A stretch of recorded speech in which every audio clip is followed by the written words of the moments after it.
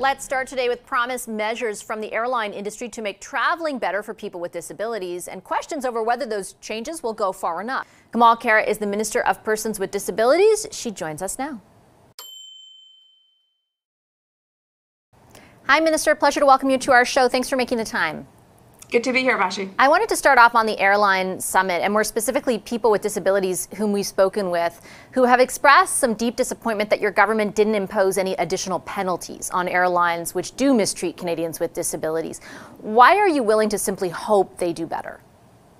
Look, I think first and foremost, like let's recognize the fact that I think all Canadians um, expect airlines, particularly uh, you know when they're traveling, to have a safe and dignified way when they travel, um, and that is the bare minimum, right? And I think, as you you said, rightfully so, you know, over the last few months and years, we have seen unacceptable, absolutely unacceptable instances where persons with disabilities uh, were treated, you know, not only did they receive you know the barrier barrier-free services that should they that they should receive it was actually quite frankly they were treated so poorly. And that's not a, that's not a, acceptable. Um, and i think we were really clear with both minister rodriguez and i that treating persons and passengers with disabilities with respect and dignity while traveling that's not optional. Uh, and and everyone needs to do a lot better. And i will tell you um, uh, we had really robust discussions and i think it was a very important step in the right way where people uh, i think everyone committed to the fact that a lot more needed to be done together. Uh, certainly at the short we certainly committed to make sure that there are a standardized uh, intake form for persons with disabilities, um, and as well as you know better data sharing. Uh, we recognize that you know there isn't a consistency when you know airlines when they share data, not just with us, but there needs to be open and transparent way how they share data uh, for persons with disabilities. I can tell you um, this summit was an important step. It's certainly not the last step as we continue to make sure we're doing all that we can to ensure uh, you know people with disabilities you know get the best treatment possible but when I, they're traveling. I think the point, Minister, is that you're not doing all that you can with, with, with respect because when you talk about for example, uh, everybody leaving with, with a, a, a, change or a, uh, an acknowledgement that they need to do better, there is nothing that ensures that. They're going to share data better about how they are mistreating Canadians with disabilities, but you have not levied any penalties if they do so. Why not? Look, I think um, Minister Rodriguez and I were very clear that everything is, is on the table. And we had every major player at the table from CATSA to CBSA uh, to the airlines to the air associations, the unions, and everyone understood that a lot more needed to be done. They insisted that they're going to do within their own uh, uh, institutions to be able to do that better. Uh, I know some of the airlines will be putting forward the, the mechanisms that they're going to be putting forward, um, but I think it's really important right now that we're focused on working together. For the first time, we had everyone together at the table where they got to hear directly from people with disabilities with their lived experiences and got a strong commitment from airlines to do better to make these changes. Uh, and i think that's what not just you know that's not just what canadians with disabilities expect. I think that's what canadians expect at large.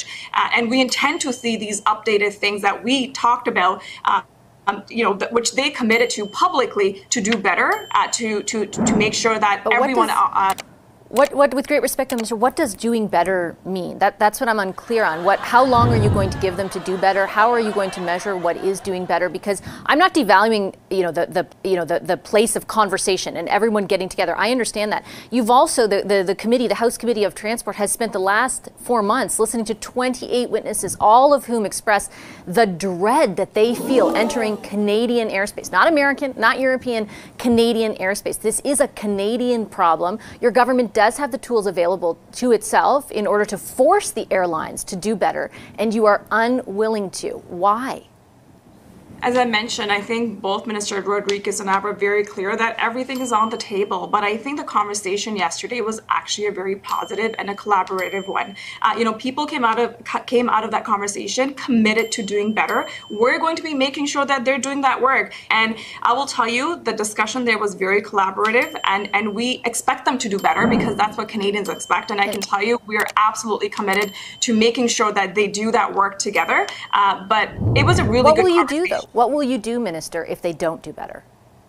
Look, I think we expect everyone to do everything within their own jurisdictions to do better. I can tell you that's something that we came out of that conversation yesterday in a very positive and in a collaborative manner uh, where everyone realizes that that's not a, that's not acceptable what has been gone, gone on for far too long and everyone is willing to do those changes. Before we go, Minister, I wanted to ask you about another issue under your portfolio. That's the Canada Disability Benefit that you introduced in the federal budget.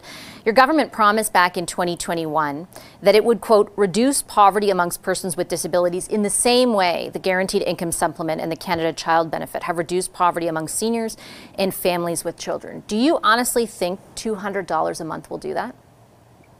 Uh, Vashi, for let's take a step back and recognize the fact that for the first time ever in Canadian history, we have a federal Canada Disability Benefit, a statutory benefit, and in this budget, we put forward 6.1 billion dollars uh, to ensure that more than 600,000 low-income persons with disabilities uh, get that extra support that they need. Uh, this is going to significantly, you know, this is 2,400 dollars tax-free per year in the pockets of some of the lowest income uh, persons with disabilities for their essentials we recognize there's more to do. This is an initial step that we put forward, and absolutely we are committed to doing more, uh, like the work that we've done, such as Canada Child Benefit, like the Guaranteed Income Supplement, to really build this social safety net around you know some of the most vulnerable in our community. We're absolutely committed committed to doing that work together with the communities. But at this, one of the most important things that we need to do, Vashi, is to make sure that provinces and territories do not claw back any of the benefits that we're putting forward. And yes, I'm very I do want to ask you about that in a moment. But I just have to ask you very bluntly. Uh, I think to a number of Canadians with disabilities, I have yet to find a single group that advocates for them that has not expressed profound disappointment in what your government has put forward. Is it not insulting to them that you're almost congratulating yourself for giving them $200 a month? And it's your government that set the expectations that it would lift them out of poverty. How does $2,400 a year lift anyone out of poverty? Vashi, again, I think it's important to recognize the fact that for the first time ever, we have a statutory benefit, a benefit designed to support some of the most vulnerable uh, individuals in our communities. But it doesn't do that. It doesn't do that, Minister. They've been incredibly unequivocal with your government. You set the expectation it would take them out of poverty, like the Canada Child Benefit, like the Guaranteed Income Supplement, all of which provide so much more money than this but then this uh, benefit will. The, the GIS, for example, more than $1,000 a month. The CCB, $620 a month. This is $200 a month. How will this do any of what you promised it will?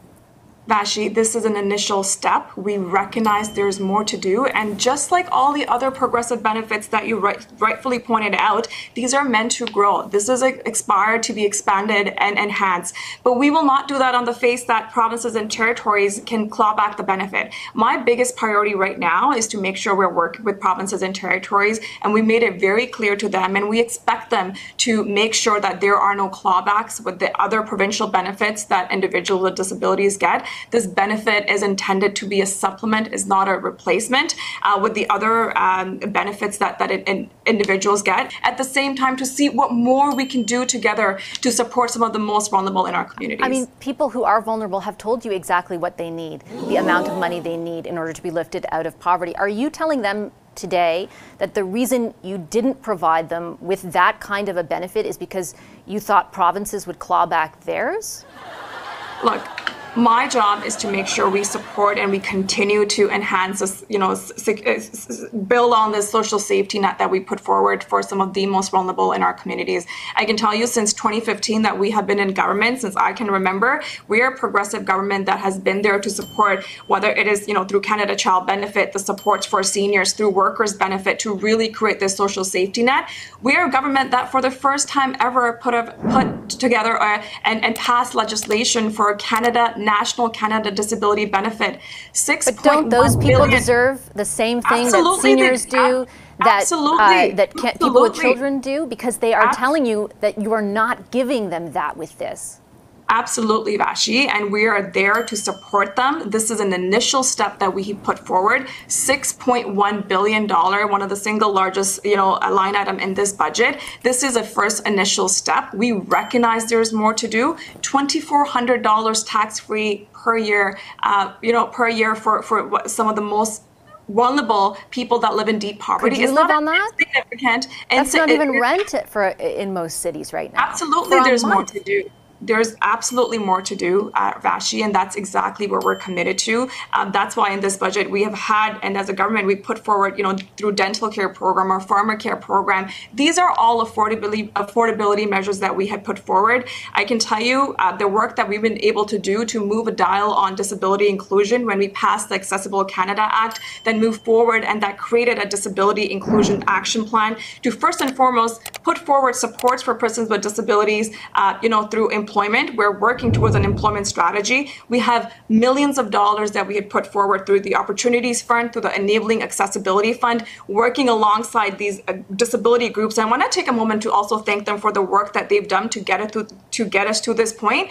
There's a lot more work. This is not the last step this is a, you know this is one I'm of not, the most yeah i'm not trying to say your intent i'm not trying to call into question your, your intent minister or your government's actions so far but those disability groups that you point to universally have called your government out for how woefully inadequate this benefit is. You say that you're prepared, that this is just a first step, but the budget looks six years out. That's $6 billion you're talking about. It's over six years. Then you've allotted $1.4 billion a year thereafter. Is that just an estimate, or are you planning to spend much more than that? As I mentioned, Vassy, this is an initial step that we put forward, $6.1 billion that is going to support some of the most vulnerable 600,000 lowest income persons with disabilities. We're absolutely committed to grow. These benefits, are, as has been mentioned in the budget, are aspire to grow like the other you know, benefits that we have put there for to support some of the most At vulnerable in our communities. Uh, we're going to continue to do this work. That's what we're committed to, and uh, we're going to make sure we get this right. Minister, I'll leave it on that note. I appreciate you making the time for the conversation very much. Thank you.